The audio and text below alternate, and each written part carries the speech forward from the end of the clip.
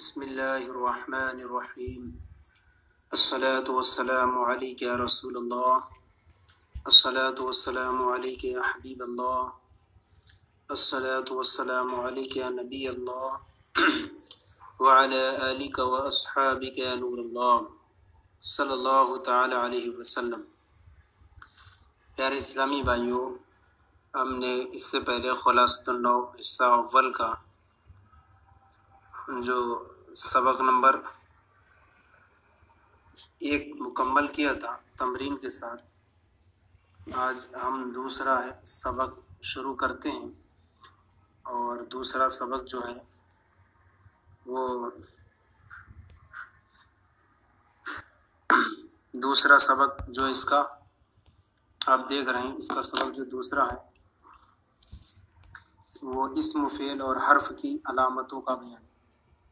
اسم و فعل اور حرف کی علام، علامات کا بیان۔ تو یہ سبق نمبر دو میں اور اس کے بارے میں ہم پڑھنے کی کوشش کریں گے اور ساتھ ہی ساتھ اس کی تمرینوں کو بھی حل کریں گے۔ اللہ تعالی ہمیں اسے صحیح طور پر سمجھنے کی توفیق عطا فرمائے۔ سبق سبق نمبر کلمے کی اقسام۔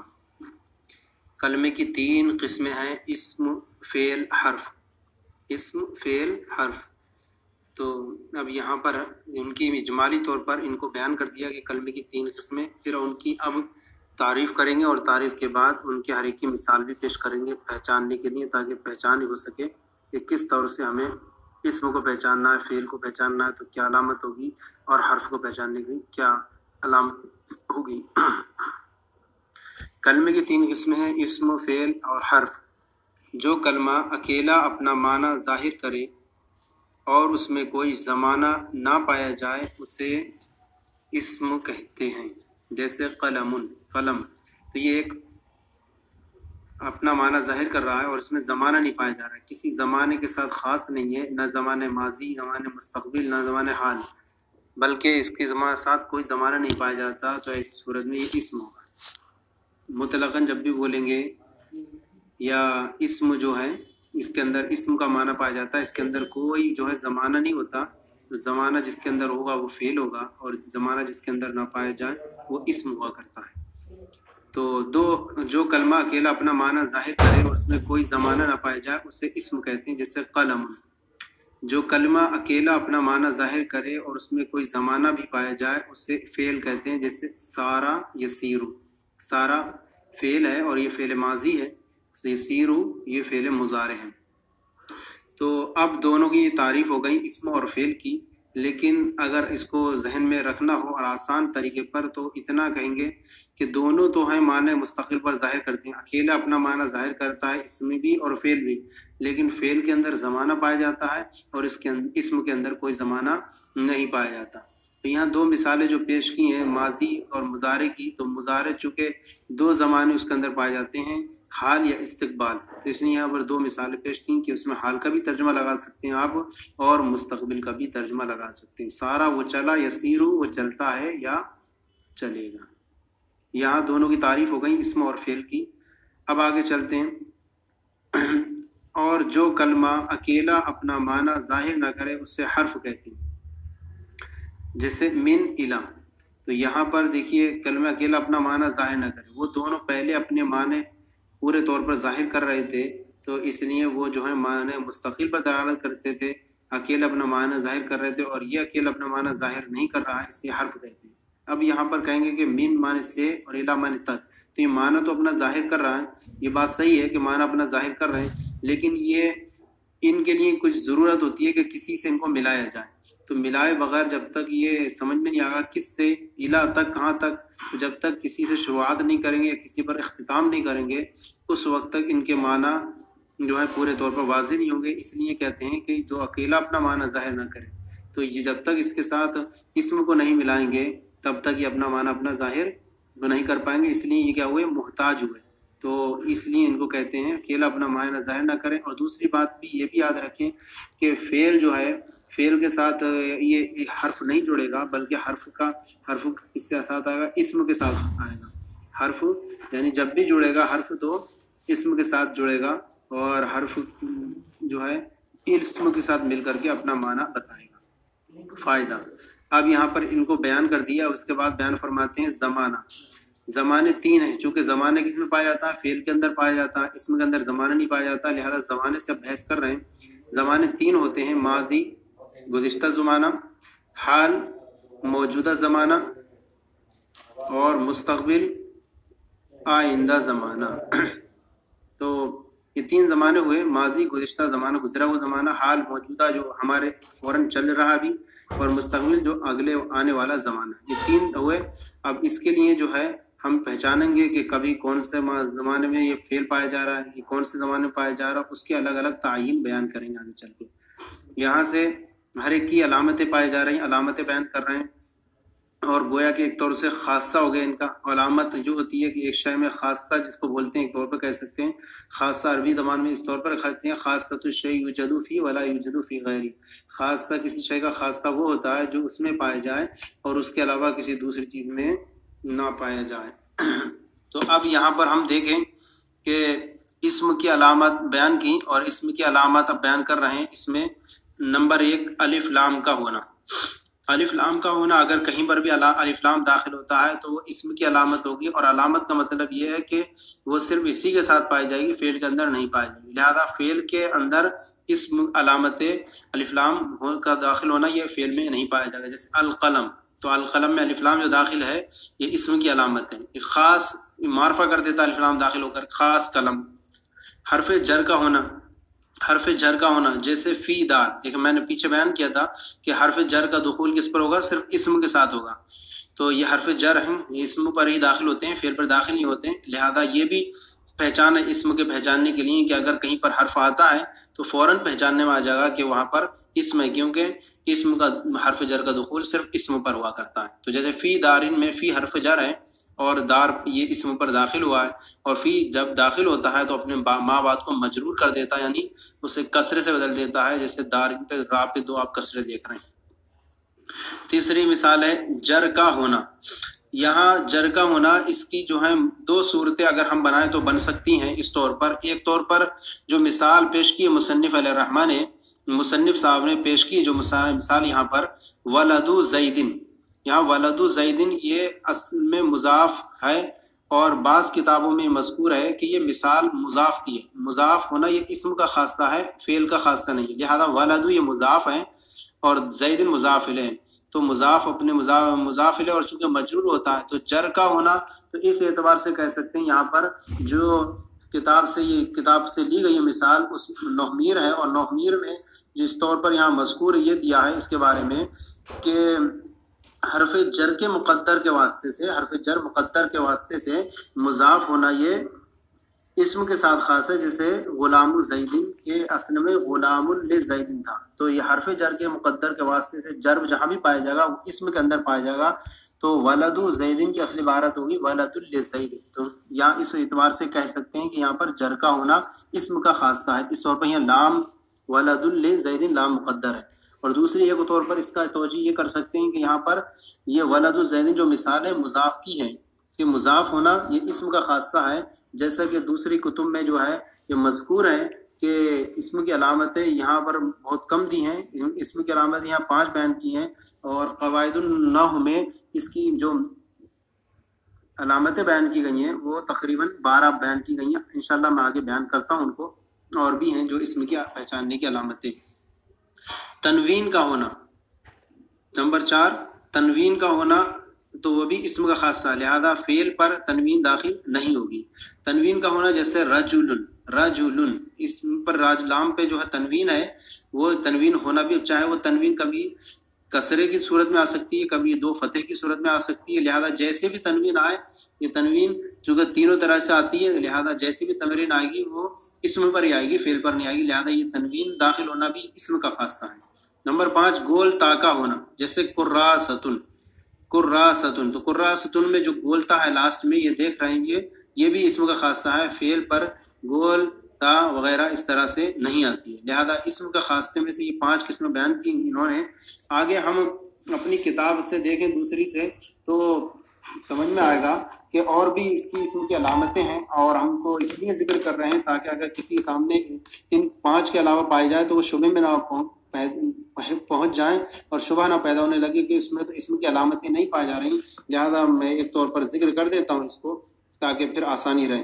اسم کی بارہ علامتیں یہاں پر مذکور ہیں۔ ان میں سے آپ نے جو ہے الحمد الفلام کا داخل ہونا یہ پڑھ لی، شروع میں حرف جر یہ بھی پڑھ لی آپ نے، آخر میں تنوین ہونا یہی پڑھ لی۔ مسند دل ہونا، یہ مسند دل ہونا بھی اسم کا خاصہ ہے۔ لہٰذا اللہ غفور اللہ غفور میں مسند الہ ہونا بھی اسم کا خاصہ مضاف ہونا جیسے ناقت اللہ، تو یہاں ہم نے جو جر کی مثال پڑھی ہے، جر کا ہونا یہ مضاف کی بن سکتی ہے۔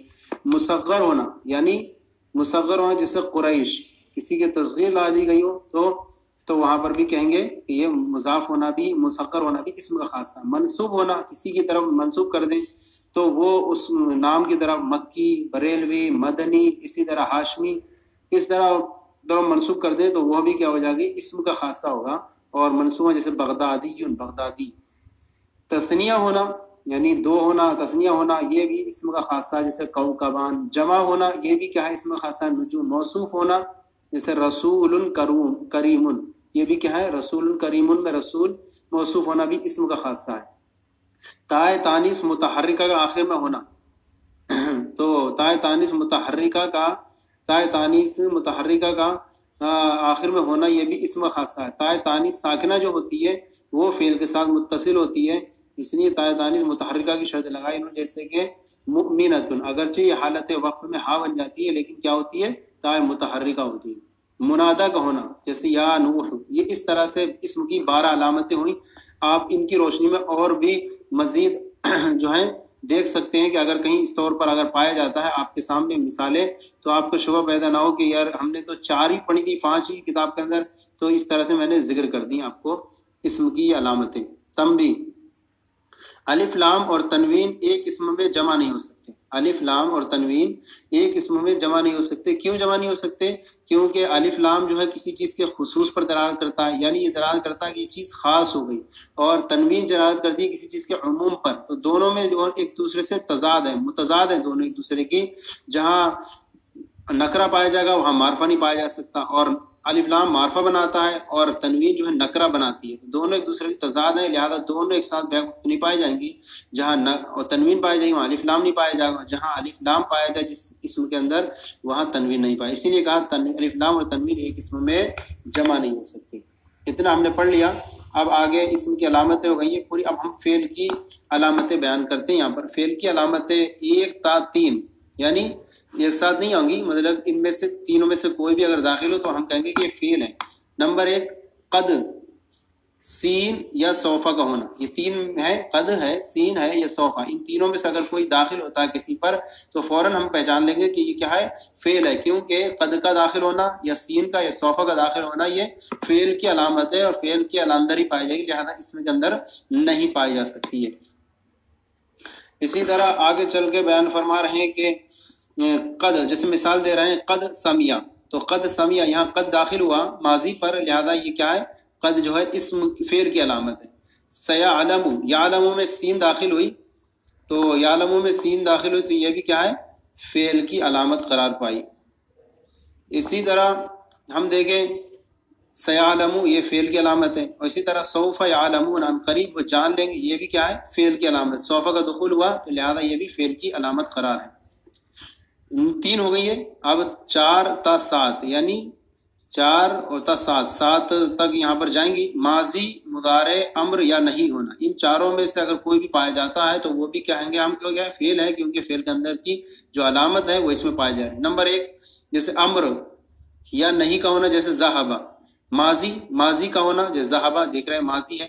تو چار نمبر یہ علامت ہوگی اس کی۔ ماضی اگر ہے تو پہچان لیں گے کہ یہ فیل کی علامت ہے۔ یزہب فی، یہ فعل مظاہرے ہے۔ تو مظاہرے ہونا یہ بھی کیا ہے؟ فعل کی علامت ہے۔ اذهب فعل امر ہے تو جا۔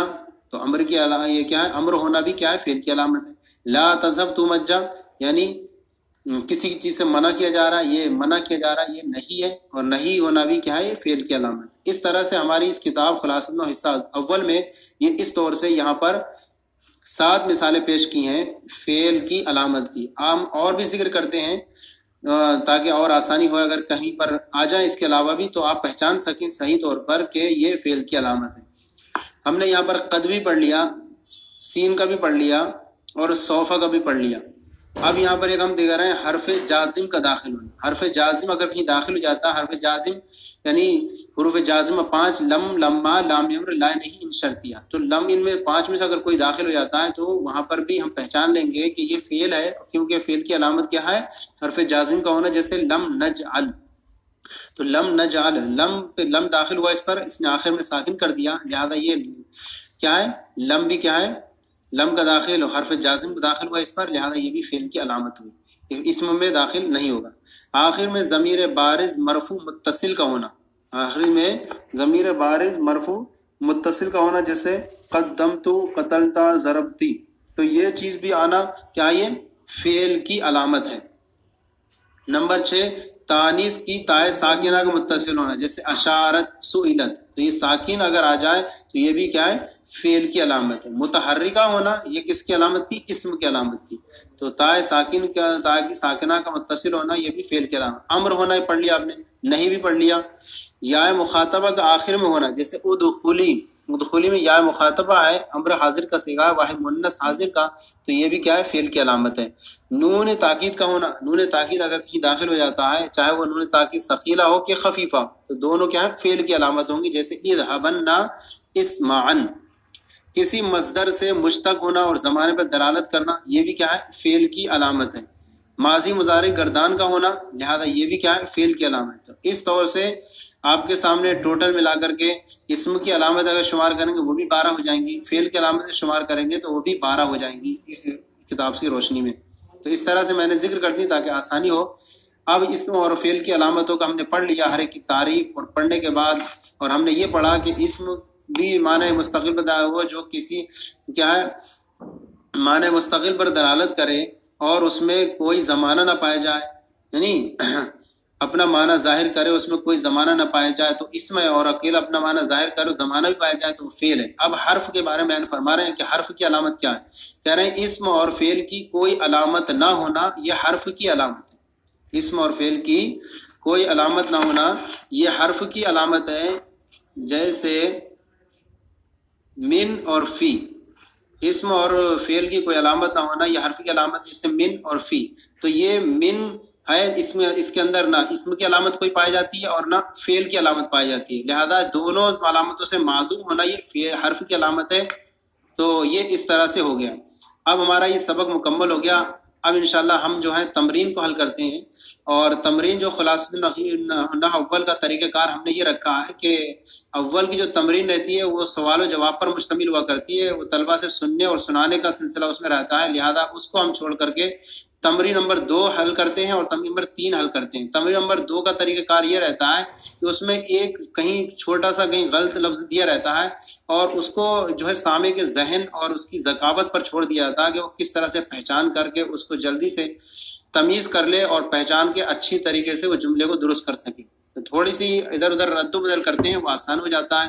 اور تمرین نمبر تین جو ہوتی ہے، وہ سبق کا نچوڑ ہوتی ہے۔ آپ نے کتنا اچھی طریقے سے سبق کو سمجھا ہے تو اس کو آسانی سے آپ وہ تمرین نمبر تین کو حل کر سکتے ہیں۔ یا ہم تمرین نمبر دو حل کرتے ہیں تو تمرین نمبر دو میں غلطی کی نشاندہی کیجیے سوال نمبر ایک ہے، جو کلمہ اکیلا اپنا معنی ظاہر کرے، اس میں اسے اسم کہتے ہیں۔ تو یہاں پر جو ہے، اس کے اندر کچھ حذف ہے، اس کو ہم پورا کریں گے، تبھی پورا جملہ صحیح ہوگا۔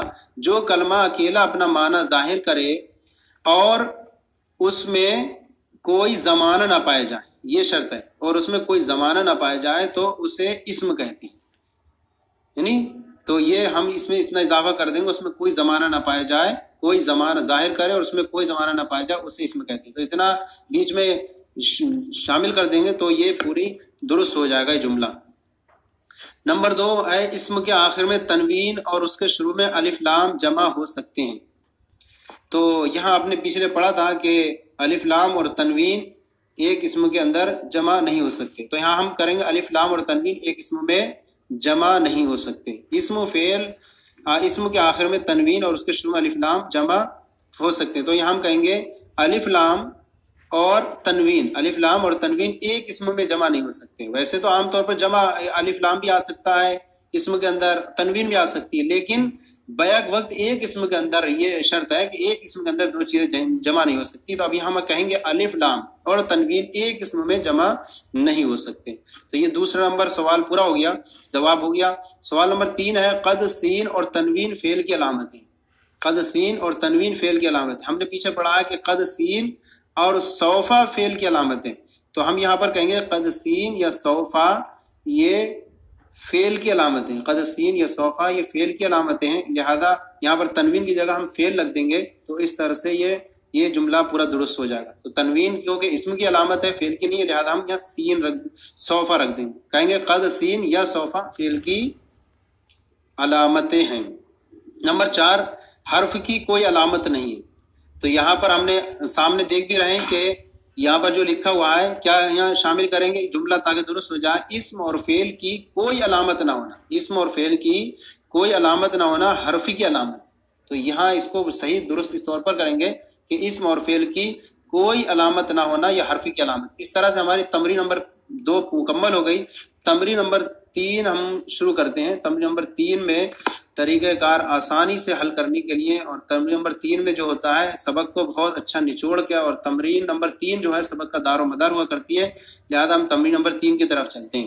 تمرین نمبر تین میں کیا کرنا ہے؟ اسم و فعل اور حرف الگ الگ کیجیے۔ نیند اسم اور فعل کی علامتیں بھی واضح کیجیے۔ تو یہاں پر ہمیں سب سے پہلے پہچاننا ہوگا کہ اسم کون ہے، فعل کون ہے اور حرف کون ہے۔ اس کے بعد پھر ہم ان کی علامتوں کو بھی پہچانیں گے۔ ہم نے پیچھے علامتیں پڑھی ہر ایک کی۔ تو علامتوں کے بھی ذکر کرنا ہے۔ تو اس طرح سے اگر ہم بنائیں تو ٹیبل چھ بنا سکتے ہیں۔ اس کے اندر اسم کو رکھیں، پھر اس کی علامت کا ٹیبل رکھیں۔ فیل رکھیں پھر اس کی علامت کا حرف رکھیں، پھر اس کی علامت کا ٹیبل رکھیں تو اس طور سے چھ ہو جائیں گے۔ ہم رکھیں پہلے۔ سب سے پہلا نمبر ایک ہے۔ سیجی او سیجی او تو یہاں پر ان قریب وہ آئے گا۔ تو یہاں پر یہ سیجی فیل ہے اور اس کی علامت کیا ہے؟ سین کا داخل ہونا۔ سین داخل ہے یا جی کو شروع میں تو سین کا داخل ہونا یہ فیل کی علامت ہے، لہذا یہ فیل ہو گئے۔ کافر کافر کافر، تو یہ جو ہے اسم ہے اور اسم کیوں ہے؟ اس کے اندر، اس میں جو ہے تنوین داخل۔ تنوین داخل ہونا اسم کی علامت ہوتی ہے، لہٰذا اسم ہو گیا۔ ان نارو آگ۔ تو ان نارو آگ یہ اسم ہے اور اسم کیوں ہے؟ کیونکہ معرب بلام الف لام، تعریف کا داخل ہونا، الف لام کا داخل ہونا یہ اسم کی علامت ہے، لہٰذا یہ فی، یہ حرف ہے۔ اور حرف کی کیا علامت؟ اسم و فعل کی کوئی علامت نہ ہونا یہ حرف کی علامت ہے، تو یہ حرف ہے۔ قد سرقا قد سرقا۔ یہ فعل ہے اور فعل کیوں ہے؟ کیونکہ قد کا داخل ہونا یہ فعل کی علامت ہے۔ قد کا داخل ہونا یہ فعل کی علامت ہے۔ اخن، بھائی۔ یہ اسم ہے اور اسم اس لیے اس کی علامت یہ ہے کہ تنوین کا داخل ہونا۔ تنوین کا تنوین کا ہونا یہ کیا ہے؟ اسم کی علامت ہے۔ لا تکذب، تو جھوٹ مت بول۔ یہ فعل ہے اور فعل کون ہے؟ فیل نہیں ہے۔ یعنی نہیں کا ہونا یہ بھی کیا ہے؟ فیل کی علامت ہے۔ لہٰذا لا تہی، لا تقدیب تو جھوٹ مت بول۔ اعلیٰ، پر۔ تو یہ ہر اسم اور فیل کی کوئی علامت نہ ہونا، یہ حرف کی علامت ہے۔ لہذا یہ حرف ہو گیا۔ قالا قالا اس نے کہا۔ تو یہ فیل ہے اور فیل کون سا ہے؟ ماضی۔ ماضی کا ہونا یہ بھی کیا ہے؟ فیل کی علامت ہے۔ لہذا یہ فیل ہو گیا۔ القوم، قوم۔ یہ اسم ہے اور اسم کی علامت کیا ہے اس میں؟ الف لام کا داخل ہونا، الف لام کا اس پر شروع میں داخل ہے، الف لام کا داخل ہونا بھی اسم کی علامت ہے۔ تو سمیا، اس نے سنا، اس نے سنا، یہ بھی کیا ہے، یہ فیل ہے، اور فیل کی علامت کیا ہے؟ یہ ماضی ہونا۔ تو یہاں ماضی ہے، لہٰذا یہ فیل کی علامت ہو گئی۔ کافی لتن کافی لتن تو قافلہ قافلہ یعنی تو کافی لتن میں یہ قافلہ۔ تو اب قافلتن میں جو جو یہ علامت دیکھ رہے ہیں آپ، تو یہ جو ہے، اسم کی علامت ہے، اسم کی علامت ہے۔ اس میں کیا بنا تھا؟ تا تانیس متحرکہ کا آخر میں ہونا۔ تو تا تانیس متحرکہ ہے یا قافلتن میں؟ تا تا، تو یہ جو ہے، اسم کی علامت ہے۔ صوفت عالم یہ صوفت عالم یہ فیل ہے۔ اور فیل کی علامت کیا ہے یہاں پر؟ صوفہ کا داخل ہونا، یہ فیل کی علامت ہے۔ جنتن، جنت باغ، یہ اسم ہے۔ اور اسم کی علامت کیا ہے تنوین کا داخل ہونا، اسم کی علامت ہے۔ ین ضرو ین ضرو وہ دیکھتا ہے. ینظرو یہ فیل ہے اور فیل کی علامت کیا ہے؟ مظاہرے کا ہونا. تو چونکہ مظاہرے کا ہونا یہ فیل کی علامت میں ہم نے پڑھا، لہٰذا یہ کیا ہے؟ فیل ہو گیا. اسرات راستہ اسرات راستہ یہ اسم ہے اور اسم کی کون سی علامت ہے؟ الفلام کا داخل ہونا. تو یہ الفلام داخل ہے اس میں، اس سے پہلے، لہٰذا یہ اسم ہوا. ان سر تو مدد کر. عنصر تو مدد کر یہ فیل ہے اور فیل کی کون سی علامت ہے؟ امر کا ہونا. تو لہٰذا امر ہے یہاں پر، تو مدد کر، لہٰذا اس طور سے یہ فیل ہو گیا۔ تو اس طرح سے ہم نے یہ سبق نمبر دو مکمل کیا۔ اچھی طریقے سے مکمل ہو گیا۔ سبق نمبر دو میں ہم نے تعریفات پڑھی اسم اور فیل حرف کی، پھر ان کی کچھ علامتیں پڑھی۔ پھر اس کے تحت ہم نے تمری نمبر دو اور تین حل کری۔ تو اس طرح سے ہمارے لیے یہ سبق مکمل آسانی سے مکمل ہو گیا۔ اب انشاءاللہ آگے بھی سلسلہ اسی طرح جاری رہے گا۔ آپ کی بارگاہ میں عرض یہ ہے کہ آپ دیکھیں اور اس میں اپنے مفید مشوروں سے نوازیں۔ آپ بالخصوص اس چینل کو سبسکرائب کریں اور بیل پریس بٹن پریس کریں اور صدقہ جاریہ کے طور پر دوسروں کو بھی شیئر کریں۔ جو کچھ مشورے ہوں، اپنے مشوروں سے بھی نوازیں۔ اگر کچھ اس میں اور اضافہ کرنا ہے، اس کے بارے میں بتائیں۔ کچھ سکھ مواخر ہے، اس کے بارے میں بیان تاکہ اس سے بہتر سے بہتر کرنے کی کوشش کی جائے۔ اللہ تعالی ہم سب کے علم و عمر میں بے شمار برکت عطا فرمائیں